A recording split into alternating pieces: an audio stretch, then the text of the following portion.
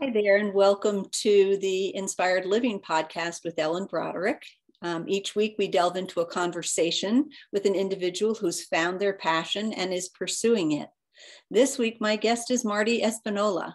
Marty is a retired administrator at the Gill Montague School District in Turner Falls, Massachusetts, where he was the director of learning, the director of grants and technology, and at times the acting superintendent of schools.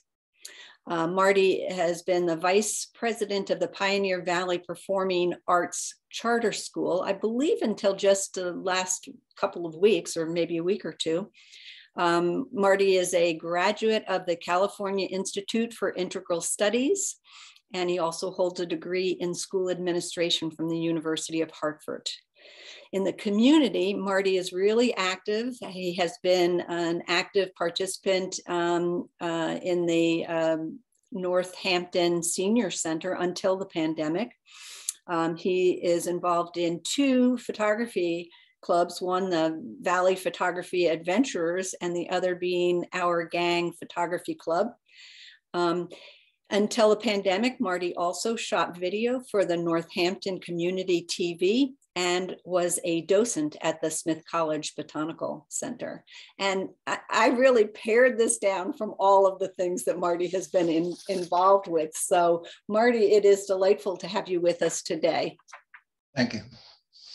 And I thought maybe we could start today with you've obviously been involved in an in a wide array of um, of endeavors that both uh, help the community and also um, really attend to children.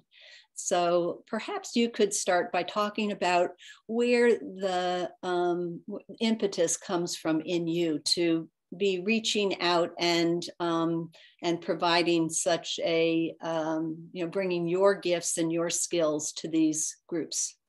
Let's start with the children. Well um,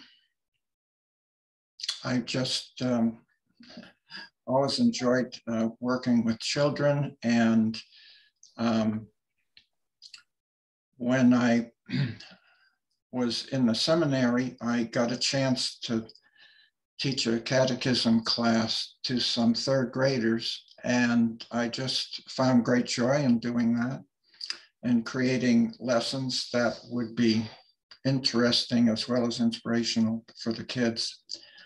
And that led me to leave the seminary to become a teacher. Um, and uh, my favorite uh, students were the fifth graders because they they already had some basic skills and were ready to really move on and explore the world in much deeper ways. And again, I just really enjoyed uh, helping children, first of all, to enjoy learning and to have the opportunity to be co-creators in their learning experience. So um, so it's a combination of just enjoying working with children and also my own desire uh, and joy at being able to do creative things uh, as far as education goes. Because uh, I was I was never a good student. I was very bored in school and didn't want to duplicate that if I was going to be working with students. Mm. And and what sorts of of things did you um, you know sort of pull out of your sleeves so that the kids were engaged and um, and um, and excited about learning? Well, two things really. One, I tried to connect them more with nature through our study of science, and we did a lot of different kinds of science projects uh, together. And um, the other thing was I really enjoyed teaching writing and uh, coming up with prompts or ideas for kids to write about that they would find exciting. Um, in fifth grade, you, you teach pretty much everything. And I, I've always enjoyed uh, that diversity of being able to move from one thing to another and keep the students engaged in, in different ways, whether it was history or science or geography or writing or reading or whatever. I mean, spelling was a tough one to, to do much with, but um, we did play spelling games and things like that.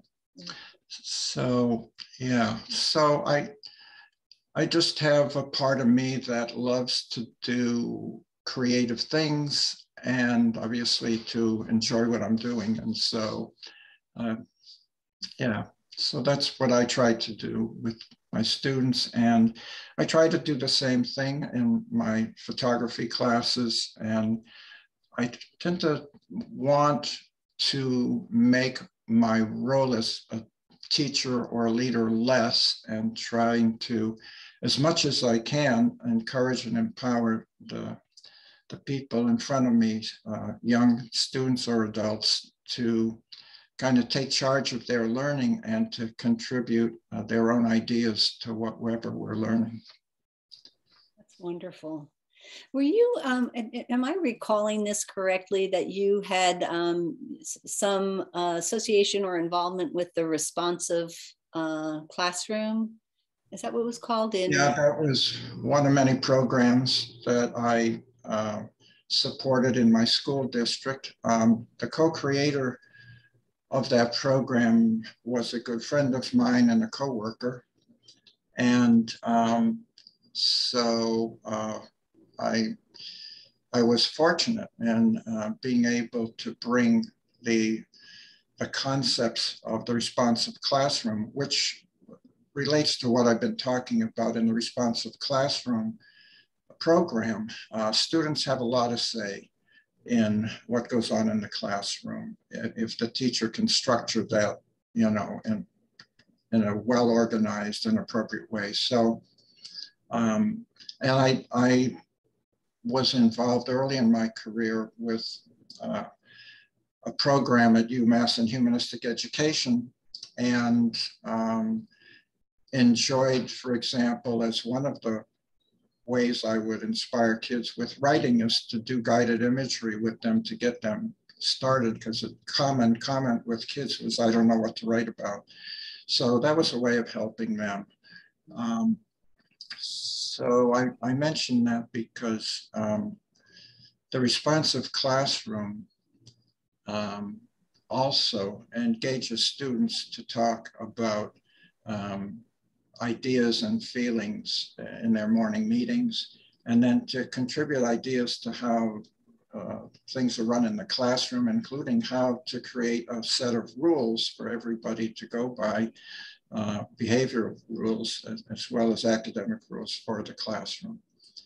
So again, that whole idea of co-creation, which I know you're into yourself, uh, um, it isn't just with the creator, I think it's with other people. Yeah, I remember with the responsive classroom also there was a an empowerment that the children could, with a little bit of guidance, really um, address the interpersonal issues that arose as well. And that right. always impressed me about that program. Yes. Yeah. And then Marty, uh, what what was the transition like from then working with kids, which obviously you enjoyed doing and and brought a lot to, to um, uh, the more administrative? And and I I realized too that even in the administrative work that you did with um, with uh, school districts, uh, there was a big um, emphasis on getting the funds that were needed for uh, continuing the arts programs, let's say, or deepening the, the arts programs um, and, and for other things that the school uh, might want to offer the kids. But can you speak to that? Well, I, I'm, I don't know how much to say. I mean, I found grants easy to write. I mean, there was no prompt. I didn't have to create much. I had to follow directions for the most part. Mm-hmm. Um, I shouldn't say that, that there was, people don't give you money for the same old thing. You did have to create something different uh, in order to get the money. Nevertheless, um, I I did enjoy the creative as that aspect of writing grants. I didn't so much enjoy all the hoops and things you had to jump through in terms of the bureaucracy of it. But um, yeah, and I it was very clear that a lot of the programs I was interested in starting or promoting or supporting required money. I mean, you had to be practical if you wanted to um, get these interesting and exciting programs going in the schools. Mm-hmm. And what were some of those programs, um, Marty? Well, um, I the the first grant I got was to start a teacher center in the school where I worked, and then uh, another one that came shortly after that. I got a grant for the high school physics teacher to to purchase some very sophisticated equipment to be able to do demonstrations and experience uh, with. Uh, uh, say movement, I guess, uh, some aspects of physics anyway. I wasn't all that clear about it. I, the teacher gave me the information that helped me write the grant. And that was the case for many, many of the grants. I took the, the grant and what whoever was offering the grant, they tell you what they're looking for usually. And so you take that and you go to people and you say, you know, what can you do in this? And um, that's a way of starting it. Other programs that I did start was the Community School Partnership was a, a program that brought together the various uh, organizations in the and Greater Greenfield community that were serving the needs of students. And those groups had not communicated um, as they hadn't been brought together to coordinate. Uh, and so that program was another one that's actually still going on. And um, let's see, well, there were many grants for technology because of computers and technology so expensive. And um, so I got many grants to help buy computers and advanced calculators and things for the schools. And one of the grants that I'm very proud of is I got a grant of $630,000 when we renovated our middle school, high school. It enabled us to install um, a large solar panel array, as well as a great many uh, energy saving uh, aspects of, uh, in the school, you know, leave the room, the lights go off, and the heat goes down and then it comes back up and all kinds of things that um, basically saved energy. Oh, and also um, we re- it was a complete renovation of this large building and we were able to recycle um, a lot of the materials that we took from the building.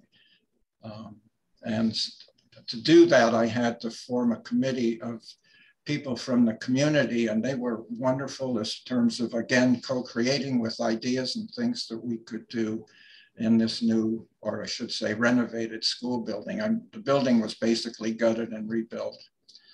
So anyway, those are some of the things. I hope that answers your question. I can't remember everything.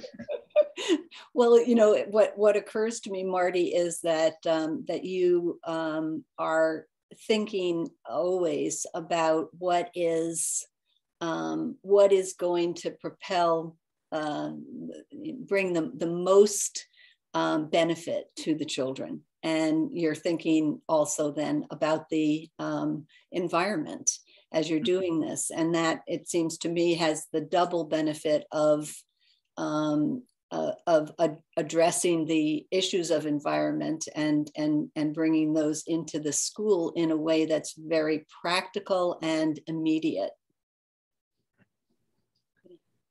Yes, that's, it, it just is uh, exciting to me to be able to, again, bring exciting and inspiring ideas and programs um, to the groups that I work with. Mm-hmm. Um, let's talk a little bit about your own um, interests and, and the way you pursue them. And you're a, a exceptional photographer, and you've had um, your work has been published in in some of the um, the bird and is it bird birds and blooms birds and blooms um, has I, I, know had some wonderful photographs that you have taken uh, in there but i've also seen um, more that you've you have had um, local shows in both the libraries and some of the community businesses. Um, uh, what got you interested in photography and um, and again, you know, in sharing what you know with others? Well, I, would say that the primary interest was avoiding boredom because when I was 13 years old, I was home one summer and really bored terribly. And somehow in putzing around the house, I found my mother's old Kodak camera. And I guess with nothing better to do, I thought, well, maybe I can learn how to use this and take some pictures. And, um, and I did that. And they came out absolutely terrible. And I couldn't understand why, but I wanted to. And that sort of motivated me to start figuring out how to uh, record images that touch my spirit. Um, and that's, yeah, so it, has been pretty much uh, a serious hobby and sometime profession from time to time over the years. Um, but my love has always been nature photography. Um, I've never enjoyed wedding photography. Um, I did enjoy newspaper photography because it was kind of exciting to be out there with, you know, these special events. But um, what touches my spirit are finding these special compositions that nature just provides all the time if we look.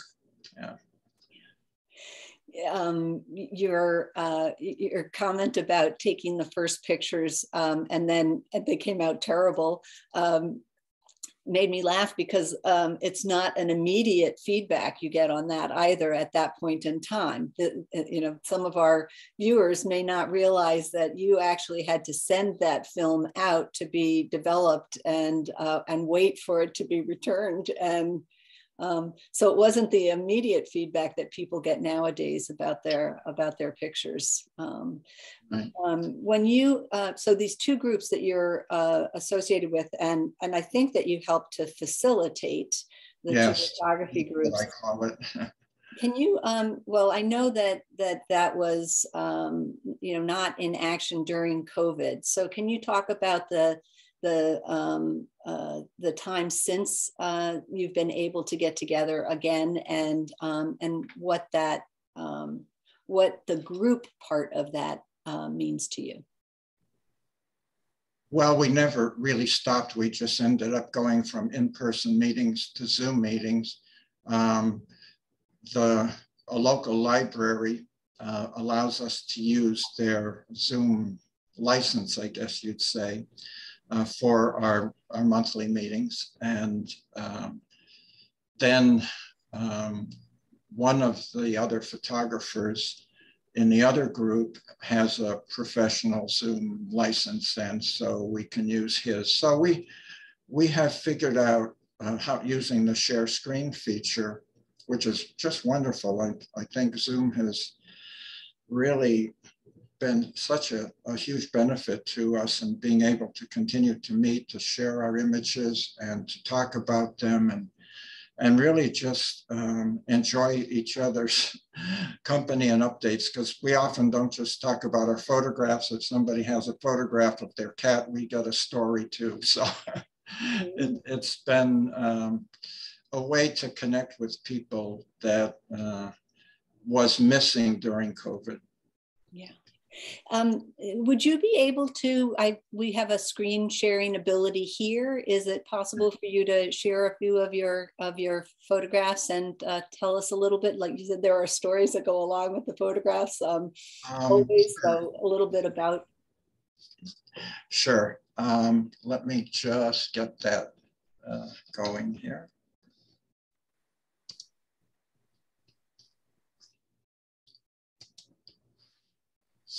So um, one of the things, can you see the screen? Yes. Mm -hmm. One of the things I really enjoy is photographing wildlife. Um, this is a, a, warbler. I forget the Latin or even official name of it, but um, this is the kind of thing that I really enjoy finding in nature. And, uh, you know, this was an early morning picture um, at Monhegan Island in Maine, which is uh, like an artist colony, just really an amazing place. Um, and I've got a, a lot of bird photos from there. Birders go there, especially around Memorial Day when the birds are coming back. And uh, the last time I was there, the birders counted 92 different species uh, in a, and yeah. Wow. Well, this that, is that warbler looked like it might be warbling as you know. Yes, snapped the picture. Yeah, hmm. this is the Amherst beaver. I, I like sometimes it seems the animals pose for you. They probably just wonder what the heck you're doing pointing this thing at them. But this is what I enjoy is this kind of opportunity here. And um, looking not just for the big things, but the little things, you know, like these dragonflies. And stuff, this is in my neighbor's backyard their statue of Buddha in the winter. And then this is from the, the, Smith Botanical Garden where I've been a volunteer. They have such an amazing collection, over 4,000 plants from around the world. And um, I really enjoy uh, going there with my camera.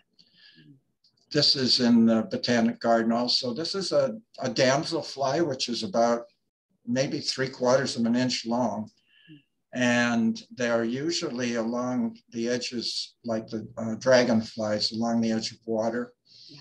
Um, so this was very unusual. I have never seen a damselfly land on a flower like this. So it was kind of a, one of those discovery experiences that uh, gives you the positive feedback you were mentioning before. Yeah. yeah. And then there are the funny pictures. I took this just two weeks ago of a great, the on one. my my sister saw this and she wants me to entitle it "I Have to Pee." oh, that's wonderful. So, so, there is humor in nature. Oh yeah. And this this is uh, down at my sister's place. I enjoy again, the birds and especially moments like this where they really display uh, how beautiful they are.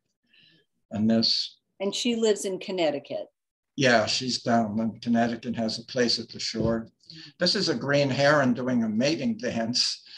Um, very unusual opportunity um, ca capture this. Um, if you saw it without the feathers ruffled and all looking kind of scraggly. You you'd wonder if it was the same bird. Very interesting. And of course, they have an amazing pattern on their wings.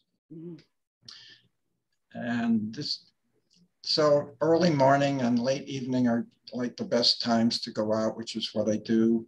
Get stuff like this. And then I occasionally enjoy with digital photography using Photoshop to blend. This is a, an orchid that uh, I bought at Stop and Shop. It's in my living room and actually is blooming again right now. And I just blended it with uh, a plant. I need to learn the name of that plant because I want to be able to tell people. But it's, it's a plant with just a lot of leaves like the ones you see here. So you took pictures of the plant and then superimposed. Yeah, there, there are two photos that were blended together in Photoshop. Yeah. That's really um, interesting. And th this is funny because this Well, it's it's an interesting story. The the merganser duck came up with the crayfish on its beak and ate crayfish. And the next picture I took, the crayfish was in its beak and it was having a meal at breakfast. But it was funny to see it on top of its beak. I expect that the duck went down and lifted its head up from the mud, and there it was. but these like are the, they're looking eye in eye, don't they? Yes, they do. And I'm pretty sure the crayfish is uh, wondering what's going on. Already, some of these look like they could be parts of amazing children's books. You know, uh, like this one could be. A, well, I the yeah. story the story of the duck who yeah. who talked the um, uh, crayfish into letting him take him across the river. yes, I, I thought we could title this one "Thanks for the Ride" or something. And then there's the small things that are have patterns. I love finding patterns and designs in nature and, and trying to capture those like this. And there's just milkweed seeds, of course. And then the wonderful shapes that you can find at the ocean or fall scenes. This is the Mill River here in Northampton. And then there's, you know, the birds. This is an osprey with a fish that it caught. And oh look at that. So, and these baby owls are living in a pine tree in the cemetery where my sister lives. Mm. Um, and and what kind of owls are they? They're great horned owls, yeah. which you know are the largest ones, and obviously these are babies, and they don't look much like their parents except for the eyes and the beak. Yeah, yeah. yeah. And you know, you've also got them in in a pattern of. Um, oh.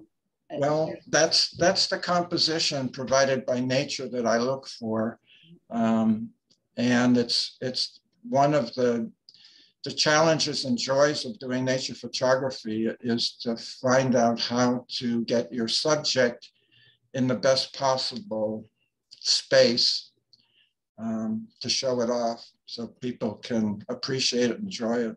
Mm. Well, I won't go through too many more. Another owl. I, their eyes are just amazing, of course. Mm. And oh, I, I don't know if I told you about this one. This is I took just again a couple weeks ago when the geese here had their babies. And here's the car coming down the road and the baby's in the road. So one of the parents is clearly trying to protect the baby. So it's it's fun for me to discover things like that and to be able to capture them. Uh, I used to say on film, but I guess now I need to say on, on the pixels. and I love photographing beautiful flowers. This is a peony in one of my neighbor's yards. So a lot of the things I take are local, things that I find as I walk around. They're, they're not the kind of massive landscapes that um, many other photographers are capture and are able to share. But anyway, that that's enough, I think. Or maybe the oh yeah. That, that's not that rabbit's not eating grass. It, it's a mom collecting material for the nest right after i took the picture she ran in that grass back there and i guess went into the burrow and prepared the nest. So those are the stories that go with some of these pictures. And this is a, another picture from northampton. And it, one of the things about nature photography is you never know. I was coming home from work one night and I looked in my rear view mirror and this is what I saw. So I pulled the car over to the side of the road and took the picture. You just never know. I mean, nature is um, surprising, wonderfully surprising in many ways. So anyway, that's that's that. So I'm going to stop sharing now.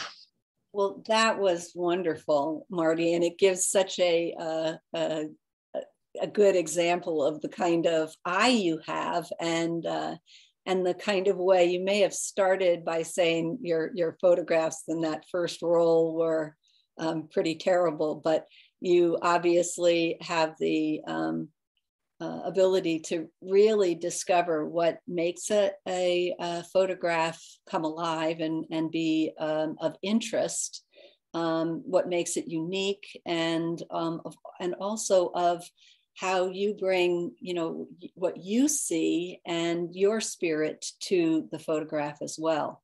Um, your being comes through because of what you hone in on. Mm. so I, I thank you so much for sharing those. Oh, you're welcome. So we um, uh, we are coming toward the end, but I also wanted to um, just say that one of the other ways that um, that I am have always been inspired by you, Marty, is that you're a father and um, and you have two children and um, and there are always ways in which you keep them in mind and um, and obviously you know love them and care deeply for them. So I don't know if you want to say anything about about um, fatherhood well, and what that's meant to you. Well, both of my children have Fragile X syndrome, which is in the autism spectrum of neurological disorders, but they're both wonderful kids, uh, and I do love them and still care you know, I'm part of their lives. and uh, I, I feel fortunate. Um, both are kind in their hearts. And um, so even though they don't have the ability to express themselves in the ways many other children would, um, I've learned to notice, you know, the things that maybe are not said. And um, so it's, it's been a wonderful uh, learning experience to come to be able to accept them just as they are, which I didn't always do. Um, but I really enjoy their company now. It makes a huge difference when you come to accept people just as they are. Mm. I think that's a beautiful note to end on. So, okay. Marty, thank you so much. You're welcome. Thank you. For the Inspired Living podcast with Ellen Broderick. My guest today has been Marty Espinola. Thank you so much and see you next week.